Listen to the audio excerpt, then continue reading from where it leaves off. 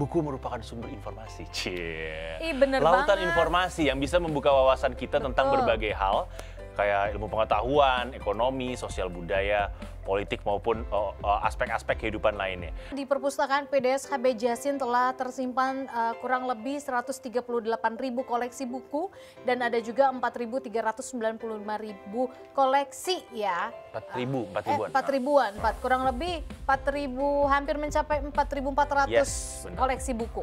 Perpustakaan Batavias Genotskap Van Kunsten and Wetenskappen sendiri merupakan perpustakaan khusus karena koleksinya yang bersifat khusus serta pemakainya terbatas pada peneliti aja.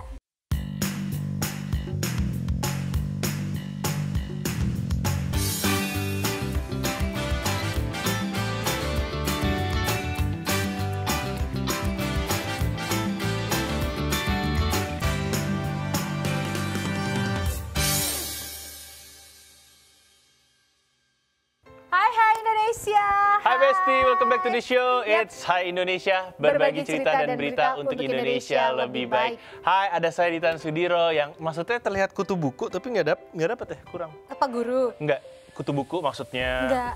Pak Ku- Guru. ku- kutu beras. Enggak, kan? enggak. Kutu beras. Kalau menurut saya saya lebih kayak pemain biliar profesional. Enggak juga. Enggak juga. Apa dong? Ya itu tadi. Kutu beras. Ku- enggak. Aduh. Pak Guru, Pak Guru. Pak- Cie Bu Guru. Eh, Oke, ketemu sama aku juga Kak Zita di sini yang udah kayak cosplay guru ya. Ah, ah. Wali kelas ah, kalian boleh Ya, ibu, ibu, ibu, ibu ngajar apa? ngajar ah, pendidikan kehidupan. Oh, pendidikan, Gimana tuh? pendidikan kehidupan tuh ya Bu Guru ya. Berarti Ada nggak ya tuh? Uh, isi ajarannya ini dari kehidupan ibu ya berarti ya. Ya kehidupan semua orang lah saya rangkum satu-satu gitu. Apa sih dosen yang profesional kan ada tuh dosen yang dari profesional. Iya iya iya iya. Itu. Saya komunikasi kehidupan. nanti. Komunikasi kehidupan. Oh berarti uh, bisa berkomunikasi dengan kehidupan lampau maupun masa depan ya? Iya, mau ngomongin masa lalu bisa, kehidupan yang sekarang bisa, masa, Masa depan, depan juga bisa bisa, dibahas. banget. Iya. Mau masa depan yang kayak gimana? Obrolin ke Ibu Nuka ya. Nomor teleponnya di bawah ini. Aduh. Kita kayak tayangan yang malam-malam. Eh, eh, makanya anyway, um, eh, kamu suka baca buku nggak sih Besti? Eh, kalau ngomongin baca buku, saya dulu sering banget baca buku. Sekarang nggak kuat kalau beli buku nggak habis-habis gitu kan. Gue gue suka banget buku. Gue nggak habis. Gue sekarang artikel, gue suka banget artikel. Gue buku sih. Nurun sih kayaknya dan nyokap eh, koleksi bukunya bokap tuh kalau eh bo- nyokap ya kalau mau ditaruh mungkin selemari kali. Nah, gue ada eh, koleksi buku yang kayaknya nggak akan gue buang. Kalau dihitung-hitung dia nggak selemari sih. Eh, yang bakal gue koleksi ya setengah lah. Setengah lemari yang lima ke atas gitu. Iya. Itu dari buku-buku yang gue baca dari zaman SMA. Sebenarnya ada juga buku-buku komik di, di dihilangkan oleh orang tua gue, dis- disumbangkan. Hmm, kalau komik dari kecil memang gue nggak begitu ya. Gue suka, suka banget. Lu bayangin dong SD gue udah dikasih buku itu sama bokap karena bokap bisa bawa sendiri dari Gue baca kantor. novel dari SD dulu. Chicken Shop Soul. Berat gak lu? Iya, gue pernah coba baca tapi pusing. Gak nyampe.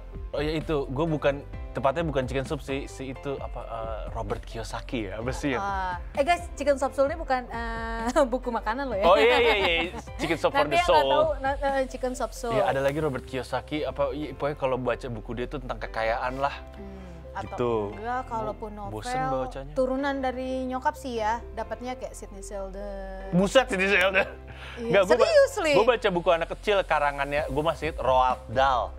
Oh. Kalau kalau baca terjemahan bahasa Indonesia hancur banget terjemahannya, jadi baca bahasa Inggrisnya aja belajar dari situ. Hmm, paling kalau yang sekarang-sekarang ya eh, sukanya sih novel tapi novel luar ya tapi yang kayak genrenya tuh detektif gitu-gitu gue suka Oh, mecahin masalah Ini, apa dulu ada tuh gitu. novel Indonesia tuh, Lima Sekawan, baca nggak lu? enggak Oh, mohon enggak. maaf guys Beda generasi ya. beda beda guys Lima sekawan tuh kayak pasti ada mas ada ini memecahkan misteri biasanya di ujungnya. Hmm, banyak tuh buku gue suka beli-beli buku juga yang ya ngomong-ngomongin soal kayak kehidupan mengelola kehidupan kita kayak gimana buku-buku yang kayak gitu Iya. terakhir gue baca buku The Secret The Secret gue lagi baca lagi dua kali gue baca. ya itu jadi kayak buku tentang afirmasi Ah. kita untuk kehidupan ya Tapi gitu. anyway, gue pertama kali baca sih harapan impian gue karena kan gue itu kan baca afirmasi kepada diri kita kan kita ucapkan dalam hati.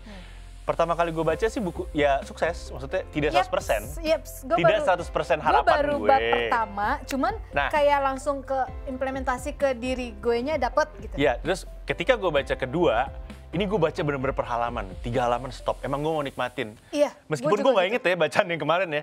Jadi gue udah baca dari dengerin dulu. Hmm. Pertama baca tahun 2019 terus hilang bukunya pandemi, ketemu lagi 2021. Hmm. Baca lagi pelan-pelan, belum selesai, baru setengah halaman. Hmm. Itu eh, afirmasi kayaknya karena udah tahu caranya ya. Hmm. Ya udah eh, afirmasinya terjadi ke gue dan harapan gue mulai Satu-satu. satu-satu Iya. dengan cara. Jadi, karena memang buku itu kita baca buku yang sama. eh, seperti kayak udah disediakan kalimat per kalimatnya, nanti kan mau tidak mau kita baca. Iya. Dan itu eh, mengafirmasi ke diri kita sendiri. Itu buku gue nggak pernah eh, lepas dari, pokoknya selalu ada di Ya, mobil. jadi itu ada- ada waktu. Buku berjudul The Secret itu terkenal sekitar tahun 2015 kali ya. Udah lama ya, Udah, lama. banget lah. Dan ada Terus filmnya juga ya? Ada filmnya dan ada dua versi buku sebenarnya. Satu tuh yang tipis. Dulu gue baca yang tipis kurang kurang pede apa kurang inilah kurang kurang afirmasi kurang banyak baca yang tebel. Nah sekarang gue lagi baca lagi yang tebel. Iya. Judulnya The Secret. Jadi The kalau Secret, kita punya betul. impian kita bingung gimana sih caranya supaya impian kita bisa terjadi. Iya, Coba ternyata sadar gak sih guys Mm-mm. dari afirmasi apa yang kita ucapin itu dan itu bisa alam semesta membantu kita untuk Ya, mewujudkan ini bahasanya itu. tepat.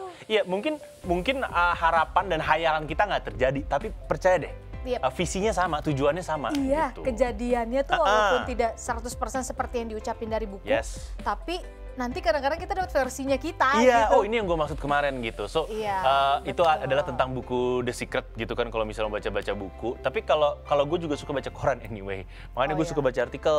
Tapi emang sih millennials kalau kita ngebahas buku gitu kan, buku merupakan sumber informasi. Cie. Ih, bener Lautan banget. informasi yang bisa membuka wawasan kita tentang Betul. berbagai hal kayak ilmu pengetahuan, ekonomi, sosial budaya, politik maupun oh, oh, aspek-aspek kehidupan lainnya. Nah, selain itu juga dengan membaca ini juga bisa membantu mengubah masa depan kita. Ini beneran sih baca semakin banyak meskipun lupa itu akan masuk ke alam bawah sadar kita. Serta dengan membaca buku juga bisa menambah kecerdasan akal dan pikiran kita. Dan tanpa kita sadari, manfaat dari membaca buku juga bisa memberikan banyak inspirasi bagi kita. Tapi sayangnya kegiatan baca buku ini sebenarnya udah banyak yang diabaikan ya kali ini ya oleh berbagai kalangan. Mungkin dengan alasan kesibukan gitu kan, maupun karena adanya media lain yang lebih praktis untuk mendapatkan informasi kayak TV, radio atau internet ataupun eh, handphone kita. Oh ya, salah satu eh, efek positif dari banyak baca buku adalah kalau ngobrol bisa banyak informasi. Iya, dan Informatif itu kalau bener- ngobrol. Bener-bener mengasah wawasan kita ya, pengetahuan kita gitu. ya ini baca Kayak- apa pun nggak cuma iya, buku sebenarnya. Iya, membuka jendela wawasan yang tadinya kita nggak tahu jadi tahu, Iya, banyak benar. tahu kayak gitu. Nah, tapi nih sekarang ada juga banyak tempat yang asik banget untuk membaca buku ya. Salah satunya yang udah pasti kita tahu yaitu perpustakaan. Nah, di masa Covid di tahun 2020 lalu beberapa perpustakaan di Jakarta memang banyak yang tutup aktivitasnya untuk mencegah adanya penularan virus COVID-19. Tapi sekarang kabar gembiranya untuk kalian, kita semua eh, bisa lagi mengunjungi perpustakaan, khususnya perpustakaan di Jakarta yang sudah kembali buka aktivitasnya. Salah satunya ada perpustakaan PDS HB Jasin yang saat ini sedang menjadi pembicaraan oleh banyak orang. Yap, jadi Gubernur DKI Jakarta Bapak Anies Baswedan baru aja meresmikan Perpustakaan dan Pusat Dokumentasi Sastra eh, HB Yasin atau disingkat atau biasa disingkat PDS HB Yasin. Ini lokasinya ada di kawasan Pusat Kesenian Jakarta Taman Ismail Marzuki atau TIM. Eh, diresmikannya eh, di Jakarta Pusat pada hari Kamis tanggal 7 Juli 2022 lalu. Dan Bapak Anies juga berharap tempat ini dapat terbang, di tempat ini dapat terbangun komunitas dan bukan sekedar tempat berkumpulnya buku aja, tapi juga menjadi web digital tempat berkarya, tempat belajar, dan harus bisa jadi tempat co-working uh, space juga. yang Betul, kerja, ke tempat betul. kerja atau belajar bareng gitu. Ya betul banget karena di perpustakaan PDS HB Jasin telah tersimpan uh, kurang lebih 138 ribu koleksi buku dan ada juga 4.395 ribu koleksi ya. 4 ribu, 4 Eh, ribuan. 4 ribuan, 4, kurang lebih 4 ribu, hampir mencapai 4.400 Yes, benar. koleksi buku. Dan perpustakaan Jakarta berisi koleksi buku umum, buku Jakarta hingga koleksi kejakartaan yang relevan dan sesuai kebutuhan masyarakat. Selain itu, koleksi di, di PDS HB Jasin juga berfokus pada karya sastra, tentunya selaras dengan namanya yaitu Pusat Dokumentasi Sastra. Nah, di sini ada dokumen tulisan tangan sastrawan-sastrawan besar seperti ada karyanya Khairil Anwar, W.S. Rendra, dan juga masih banyak yang lain-lainnya. Yap, uh, ini kalau kita ngebahas mengenai perpustakaan Jakarta dan juga PDS HB Yasin, ini dilengkapi dengan sejumlah ruang baru antara lain ada ruang multifungsi, ruang permainan anak, bilik cerita, ruang baca private, ruang podcast, ruang komputer, dan juga ruang koleksi kejakartaan gitu kan. Yap. Ini sebenarnya tuh awalnya tuh sebenarnya hanya dokumentasi, dokumentasi-dokumentasi sastra milik HB Yasin uh, milik dia pribadi dan ini dibangun tuh di tahun uh, 1976 tanggal 28 Juni. Beliau juga uh, seorang pengulas buku yang teratur mengumpulkan karya-karya sastra, bahkan dokumentasi sastra milik HB Yasin ini mulai banyak digunakan sejak ia mengajar sebagai dosen di Universitas Indonesia serta Lembaga Bahasa dan Budaya yang sekarang menjadi Badan Pengembangan dan Pembinaan Bahasa dan juga Sastra. Ya untuk nama perpustakaannya sendiri diambil dari nama seorang pengarang, penyunting, cendekiawan muslim dan juga kritikus sastra Indonesia yaitu Hans Bague Jasin ya. HB, HB. HB. Iya. Makanya disingkat jadi HB gitu. Nah, beliau ini lahir pada tanggal 31 Juli 1917 dari seorang ibu bernama Habibah Jau dan ayahnya seorang kerani Batavse eh, Matskapich ya ini bahasa bahasa bahasa Belanda nih ya yaitu Dr. Hans Bague Jasin ya atau lebih disingkat menjadi HB Jasin adalah seorang paus sastra Indonesia. Bukan tanpa alasan julukan ini diberikan karena memang jasanya sebagai kritikus dan esais termasyur yang ada di Indonesia gitu. Iya, uh, ini lu udah lihat belum sih foto-foto perpustakaannya? Belum Keren, keren, keren banget. di daerah mana sih? Di tim Taman Ismail Marzuki, Ah, IKJ Institut Oh Jakarta, goodness. Kan Yap, yap, yap. jadi banyak perubahan di sana. dulu Yang sebelum direvel- direvitalisasi gue sering banget pulang kerja tuh ke tim. bioskop nonton. Enggak, enggak, enggak. Ngapain lu planetarium? Eh, planetarium atau? Jajan. Starling. Sering, yoi. Sekarang di bagian bioskopnya, jadi bioskopnya dibuka-buka, dijadiin Ha-ha. perusahaan, keren sih. Oh gitu. Ah, belum pernah sih pas dialihfungsikan. udah direnov ya ke sana lagi belum. Oke, iya baru buka. Iya, makanya. Yaudah kita bakal balik lagi nih untuk ngebahas tentang perpustakaan-perpustakaan. Jadi jangan ke mana-mana, Yap. tetap di Hai Indonesia. Berbagi cerita dan berita untuk Indonesia lebih baik.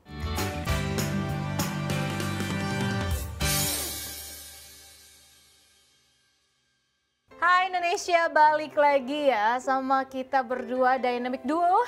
Hai. Masih sama Nuka dan juga Ditan. Yes. Yang kita hari ini membahas tentang perpustakaan. Tadi kita udah bahas tentang perpustakaan. HB Yasin. HB Jasin yang ada di tim ya, Mm-mm, gitu. Taman Ismail Marzuki. Yang baru aja dibuka setelah nunggu-nunggu gitu Pandemi. kan. Pandemi akhirnya kita bisa berkunjung ke sana. Kalau kalian yang mau ke sana boleh banget gitu. Nah, kalau berbicara perpustakaan pertama yang ada di Indonesia, yang tercatat ini adalah perpustakaan gereja di Batavia yang telah dirintis sejak tahun 1624, guys. Iya, Tua ya? kan Batavia. Iya, 1624. Belum Jakarta. Betul. Namun akibat berbagai kendala, perpustakaan ini baru diresmikan pada 27 April 1643 bersamaan dengan pengangkatan pendeta DS atau Dominus Abraham Virenius sebagai kepalanya. Nah, pada masa saat itu layanan peminjaman buku yang diselenggarakan perpustakaan gereja Batavia tersebut tidak hanya dibuka untuk perawat rumah sakit Batavia, namun juga untuk pemakai yang berada di Semarang dan juga Juwana, Jawa Tengah. Yap, dan em, setelah itu tidak terdapat lagi nih catatan tentang keberadaan perpustakaan di Indonesia untuk waktu yang cukup lama. Eh, perpustakaan di Indonesia ini yang tercatat keberadaannya setelah itu baru perpustakaan milik Batavia, eh, Genossap, Van Kunsten, and Wentespen. We- Wentsapen, aduh bacanya gimana itu? Wetenstappen. Yes, Wentenshapen. Iya begitulah ya. Jadi perpustakaan ini didirikan pada tanggal 24 April 1778. 100 tahun loh nggak ada catatan perpustakaan berarti ya. Ini yang diprakarsai oleh Ketua Raad van Indi, eh, Mr. GCM Radma- Rad- Radmacher, semasa pemerintahan dari Verenis Oost Indies Company. Ya, lalu ketika VOC ternyata bubar di tahun 1799, Batavia's Genossap, Van Kunsten and Wetenskapen tetap beroperasi dengan mengandalkan sumbangan dermawan dan juga gubernermen ya. Perpustakaan ini mengeluarkan katalog buku yang pertama di Indonesia dengan judul Bibliothecae Artium Sintiaru Mequae Batavia Floret Katalog Systematicus. Oke, panjang sekali. Dulu bahasa perpustakaan katalog sistematik ya? Iya. Nah, jadi ini hasil suntingan P. Blaker edisi keduanya yang terbit di tahun 1848 dengan judul dalam bahasa Belanda. Nah, ini uniknya karena dianggap berhasil dalam memajukan ilmu pengetahuan gitu kan. Si perpustakaan ini khususnya bahasa, ilmu pengetahuan ilmu bumi dan juga ilmu antropologi di Hindia Belanda waktu itu dan karena mampu menerbitkan katalog secara teratur, maka akhirnya pada tahun 1924 nama perhimpunan tersebut mendapat tambahan nama yaitu Koninklijk.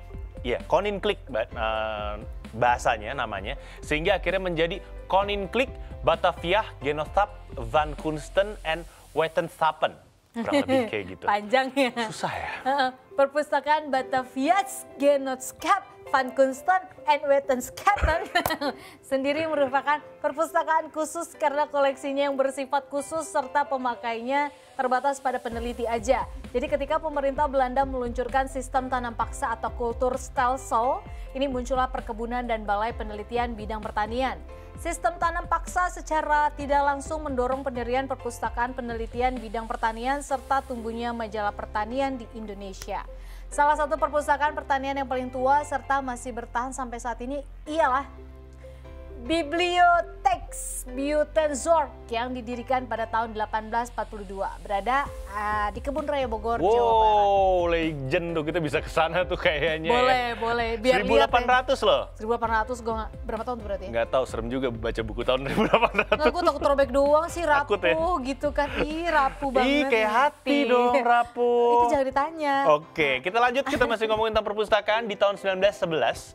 Uh, akhirnya nama dari perpustakaan ini di Bogor berubah menjadi Sentra Natur Wetens Aplik uh, Bibliothek van het Departement van Landbouw, Nich, uh, Nijverheid en Handel. Panjang. Nama tersebut kemudian diubah lagi menjadi Biblioteka Bogori, Bogoriensis, Bogoriensis Biblioteka Bogoriensis. Jadi ini dalam kaitannya dengan edukasi gitu kan, um, pemerintah Hindia Belanda akhirnya mendirikan sekolah bagi waktu itu uh, pribumi Inlanderje gitu kan, yang dinamakan Volkschool atau sekolah rakyat. Ah sekolah nenek gue. Iya nenek gue, gue pernah nanya di sekolah rakyat katanya. Iya, ini udah. menerima tamatan sekolah rendah angka 2 atau Ongkoloro waktu itu ya. Dan perpustakaan pada Volkschool ini disebut uh, Volksbibliothek dengan koleksi dipasok oleh Volkslektur atau kelak berubah menjadi balai pustaka. Oke, pada zaman Hindia Belanda sebenarnya sih nggak ada perpustakaan umum ya yang didanai oleh anggaran pemerintah gitu. Perpustakaan umum justru didirikan oleh pihak-pihak swasta. Nah, perpustakaan umum yang didirikan oleh swasta disebut sebagai open bar lezalen, artinya ruang baca terbuka atau ruang baca untuk umum. Oke, kita lanjut ya. Kita ini berlanjut di zaman pendudukan Jepang atau zaman pendudukan Nippon. Uh, ini wibu-wibu nih yang suka Jepang nih pastinya nih uh, suka sama sejarah ini. Jadi di saat itu nggak ada kegiatan uh, kepustakawanan, nggak ada tuh perpustakaan karena waktu itu Jepang mengerahkan semua tenaga untuk keperluan perang kan. Nah di awal masa kekuasaannya Jepang tuh sempat me- melarang peredaran buku berbahasa Belanda atau berbahasa Inggris dan bahasa Eropa lainnya. Semua sekolah tinggi sempat ditutup juga sama Jepang itu. Baru kemudian ketika Jepang mulai terdesak, beberapa sekolah tinggi dibuka kembali. Nah, ini ini juga dibuka kembali juga untuk keperluan Jepang sih. Nah, akhirnya Perpustakaan Nasional Republik Indonesia Perpusnas didirikan di Jakarta dan Rijksmuseum di Amsterdam eh, sejak tahun 1995 ya. Ini akhirnya memulai adanya kerjasama dalam pelestarian warisan budaya bangsa. Di tahap pertama dikhususkan hanya pada gambar-gambar yang dibuat oleh Johannes Rah, seorang pelukis asal Denmark di zaman Hindia Belanda. Ya, koleksi yang dimiliki Perpustakaan Nasional Republik Indonesia itu ada sebanyak kurang lebih 202 buah gambar, merupakan jumlah terbesar dari seluruh gambar Raj yang merekam peristiwa penting di Indonesia dan beberapa negara di Asia. Sebagai salah satu museum terbesar di nege- negeri Belanda ya, Rich Museum juga memiliki gambar Johannes Raj yaitu sebanyak 40 buah gambar.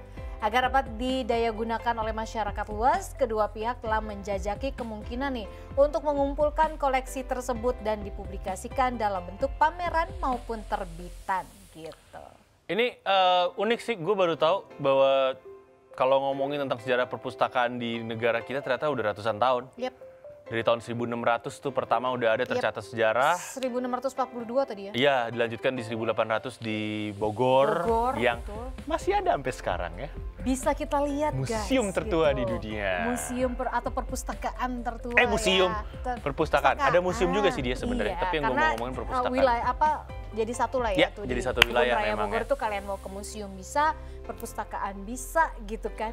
Bahkan melihat flora apa uh, flora-flora yang fauna. udah Eh, udah flora, ratusan fauna, flora. tahun Ada- ya. ada juga Kebun di sana. Bogor tempatnya. Ngomong-ngomong, gue masih inget loh dulu waktu gue SD, kalau misalnya gue telat balikin buku, per hari dihitung cepet. Perak. Iya 100 perak. Di sekolah gua, Kalau lo iya sih sama kayaknya semua sekolah gitu deh. 200 Kalau perak telat dulu kan. pasti ada denda. per hari. Kalau udah seminggu dipanggil sama orang perpustakaan. Iya, atau enggak biasanya sehari sebelum itu udah diingetin gitu. Iya, biasanya sih zaman dulu kayak gitu. Mau perpanjang atau gimana? Kayak gitu. Yap, bener banget. Oh. Itu dia pembahasan kita mengenai perpustakaan. Tapi Hmm. kita masih bakal lanjut ngebahas tentang perpustakaan selain satu ini ya. Yap, jangan ke mana-mana, tetap di Hai Indonesia, Berbagi cerita dan berita untuk Indonesia lebih baik. Hai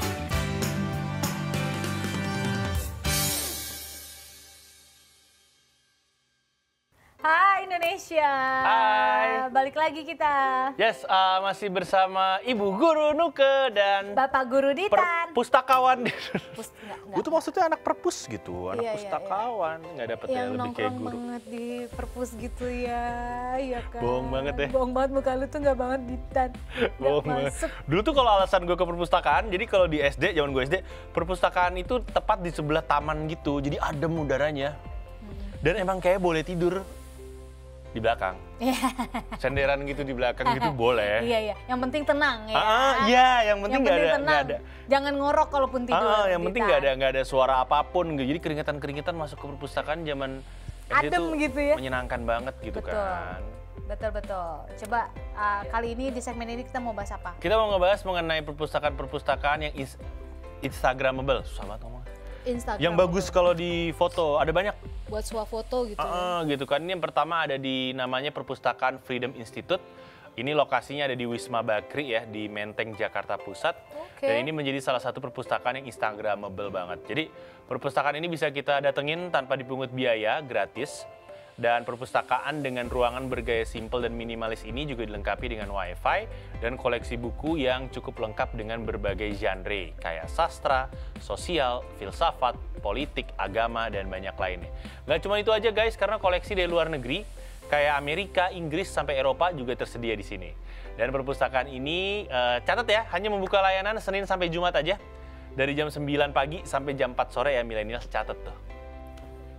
Betul. Terus selanjutnya juga ada perpustakaan Eram- Oh iya. Erasmus Ini nih. Huis Ini ya. bagus. Ini merupakan pusat kebudayaan Belanda yang terletak di Setiabudi, Jakarta Selatan. Perpustakaan ini memiliki pemandangan yang apik ditambah dengan sebuah bangunan rumah Belanda yang tentunya bisa bikin feed Instagram kamu makin keren. Kamu nggak perlu mengeluarkan uang untuk masuk ke sini, tapi kalau mau pinjam buku ya harus mendaftar keanggotaan terlebih dahulu dengan biaya 30.000 aja. Nah, perpustakaan ini juga mau koleksi sekitar kurang lebih 14.000 buku berbahasa Belanda, Inggris, dan juga Indonesia. Perpustakaan ini buka dari Senin sampai Sabtu mulai pukul jam 10 pagi sampai jam 4 sore ya milenial. Gue penasaran deh. Jadi. Erasmus, itu bagus. Gue belum. Gue lihat gue lihat gambarnya doang. Jadi kepengen. gue pernah lihat gambarnya doang, bagus lengkap kalau mau nyari buku-buku yang lain. Nah, kalau misalnya Guten Morgen mau belajar bahasa Jerman, eh, Oh, itu bisa. bukan bahasa Guten Morgen bahasa Jerman? Iya, Guten Morgen. Iya kan? Iya. Ini banyak nih di Goethe Institute Jakarta. Oh, Gote. Perpustakaan Goethe Institute Jakarta ini lokasinya ada Iya, di di Menteng, Jakarta Pusat dan ini jadi salah satu tempat yang asik untuk belajar budaya Jerman juga. Uh, perpustakaan ini juga memiliki banyak referensi ya untuk belajar bahasa Jerman atau mau menemukan bu- beragam buku anak-anak juga. Sastra Indonesia yang diterjemahkan ke bahasa Jerman juga ada hingga sastra Jerman pun tersedia di perpustakaan ini. Dan nggak cuma itu guys, perpustakaan di Goethe Institute ini juga menyediakan berbagai macam permainan dari mulai Xbox dan PlayStation. Yuk, boleh, gue belum pernah main Xbox. Boleh Deket kantor lama. di Menteng. Ke Oke, kantor yap, benar. Dan di sana juga kita bisa menikmati musik dan film di ruangan yang udah disediakan. Di perpustakaan Goethe Institute Jakarta, kita bisa masuk dengan gratis dan datang di hari Senin sampai Jumat dari mulai jam 11 si, uh, 11 11 pagi 11 siang sampai jam 9 malam, Senin sampai Jumat. Kalau Sabtu dari jam 11 sampai jam 7 uh, 19 waktu Indonesia bagian barat, jam 7 malam. Hari Minggu jam 11 sampai jam 3 sore ibaratnya. Dan satu hal lagi, kalau ke Goethe Institute banyak kakak-kakak lulusan teknik mau ke Jerman, ganteng-ganteng. Iya. Uh, uh. Boleh nanti Buat lu. Iya, ke situ. ya. nanti ah gitu. Oke. Nanti ah gitu kan. Oke, selanjutnya ada perpustakaan Kineruku, perpustakaan hits di Kota Bandung. Jawa Barat ini menjadi salah satu perpustakaan yang harus kalian kunjungi. Kenapa? Karena ini tuh sangat menyenangkan banget ya untuk kalian bisa menghabiskan waktu dengan membaca buku di perpustakaan dengan tema vintage gitu. Ini sudah berdiri sejak tahun 2003 dan perpustakaan Kineruku memiliki kurang lebih 4.000 koleksi buku, terus ada 1.000 CD musik dan ada 1.000 judul film. Beberapa buku, CD, dan aksesoris yang cukup langka juga dijual di sini. Dan untuk koleksi buku yang disediakan, Kineruku sangatlah beragam. Mulai dari budaya, filsafat, seni, desain, arsitektur, hingga buku anak.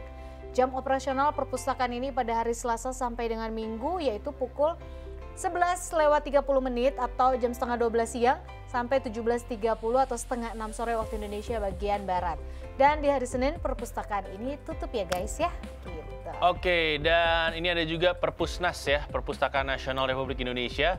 Lokasinya ada di Gambir, Kota Jakarta Pusat, Kota Jakarta Pusat, sorry, dengan eh, ini dia ini pemandangannya bagus. Banyak banget foto-foto dari Perpusnas karena tinggi ya. Ini 27 lantai dan memiliki koleksi hingga jutaan buku. Ya iyalah 27 lantai gitu kan. Dari mulai naskah kuno, buku-buku langka, sampai majalah dan masih banyak lagi ada di sini. Selain suasana yang nyaman di dalam, di sini juga kita bisa memanjakan mata dengan menikmati pemandangan Monumen Nasional atau Monas dan Kota Jakarta. Karena emang ya itu tinggi banget gitu kan. Yap. 27 lantai, pemandangannya bagus. Udah ke sana? Lihat foto-fotonya. Udah sih. Lu udah ke sana? Udah. Bener kan pemandangannya bagus kan? Oke. Tinggi menjulang gitu kalau kita Mm-mm. dari bawah gitu. Dan fasilitas yang disediakan di Perpusnas juga sangat lengkap. Dari mulai ruang layanan anak, ruang layanan lansia, sampai ruang layanan penyandang disabilitas dengan buku-buku braille dan komputer khusus juga ada. Bahkan ada eksekutif lounge, kantin, dan musola. Perpustakaan Nasional Republik Indonesia ini buka pada hari Senin sampai Jumat dari jam 8 pagi sampai jam 4 sore atau hari Sabtu dari jam 9 pagi sampai jam 15.30. Terus khusus untuk cuti bersama dan libur nasional tutup ya guys. Oke, gitu. Kira-kira kalau kalian ada waktu mau nggak pergi ke perpustakaan? Gue mau, gue kayak ke Perpusnas sih. Gue suka. Si Perpusnas itu kan tinggi banget penasaran. Goce tadi sih, Gote, Gote, oh, biar ketemu kakak-kakak ya. Ah. Eh tapi Perpusnas sebagus itu ya, bener? bagus, bagus, bagus, bagus. Lo tuh ke lantai berapa? Gue cuma sampai lantai berapa ya, nggak sampai semuanya. Waktu itu baru-baru banget. Katanya ada majalah segala, komik ada nggak ya? Semua- Tetap komik. Eh, lengkap Menurut sih. lo ada harusnya ya? Lengkap sih, karena ada juga lantai yang khusus emang anak-anak. Oh, gua dong ke sana. Iya makanya lu mau baca komik, teman-teman lu dede-dede. Nggak apa-apa. Ih om ngapain om botak Tapi rame, waktu lo ke sana rame. Belum, belum begitu rame. Karena waktu itu gue datangnya memang sengaja uh, weekdays, hari-hari kerja gitu, gitu. Terus di bawah-bawah itu nanti lu bisa lihat lukisan-lukisan presiden-presiden kita gitu. Gue tuh kadang-kadang gue ke, ke toko buku aja udah seneng loh. Tapi gue keselnya, sama gue. gue tuh keselnya kalau sekarang toko buku tuh suka, sekarang tuh udah nggak sebebas dulu. Kalau dulu kan robek apa diplastikin ada- ada. robek aja. Ah, ah. Kita baca Ih, gitu. boleh sekarang mah. Sekarang udah udah Kayaknya memang sebenarnya dari dulu juga nggak boleh Enggak, gua begitu dibukain. sih. Ngebuka gitu. Gue Kita- dibukain, gue Yang ada kita nggak beli. Boleh dibukain sama kita orang ya, baca doang nggak beli. Gak tau, gue sih pasti beli kalau komik. Gue dulu dibukain sama mas-masnya. Masnya dibuka, enggak nggak apa-apa buka aja dibuka. Gue tuh bisa berlama-lama di toko buku gitu. Iya adem lagi kan, terus kita ada kerjaan baca sampai selesai. Iya betul, karena memang suka sih ya, beda Iya, ya nah gitu. sekarang kan udah mulai ini, em, ya sekarang lu mau nyari apa pun ada di handphone lo. Iya, jadi mau nyari buku, Tapi tetap sih kalau menurut gue ada ada beberapa yang memang gue lebih suka baca langsung dari bukunya gitu. Kalau gue contoh koran, gue lebih Ah. suka baca berita di koran. Karena kenapa sih sekarang, ini pendapat pribadi ya, kenapa sekarang banyak banget netizen yang kalau ada berita langsung marah-marah dulu. Iya karena cuma baca judul. Kalau lu biasa, kalau lu biasa baca koran, lu gak akan percaya sama judul. iya, gitu. karena kalau koran tuh detail. Enak, Eh, Detail ada tuh. semua 5W 1H dibahas 5W di koran. satu hanya di situ dapat gitu ya. Ah, m- mungkin Ya oke judulnya mungkin agak beda, Mungkin cuma isinya bener. Bedanya jurnalis dulu sama sekarang kali ya. Kalau sekarang 5W mereka satu tuh uh, jualnya yang penting clickbait-nya dulu gitu. Orang ngeklik beritanya mau beda dari judul, oh ya udah gitu. We never know. ya bener, tapi itu pendapat pribadi sih, ya, gitu kan. Ya, ya, ya. Yes. Ya cuman memang kualitas tulisannya harus lebih di ini kan sih ya. Diperbaiki. Diperbaiki sih ya. 5W satu hanya 5W dilengkapin. satu hanya bukan cuma cari sensasi untuk diklik buka, ya ternyata zong. Yap, gitu. bener banget. Dan itulah dia tadi pembahasan kita mengenai perpustakaan. Jangan ke mana-mana, tetap di Hai Indonesia. Berbagi cerita dan berita untuk Indonesia lebih baik.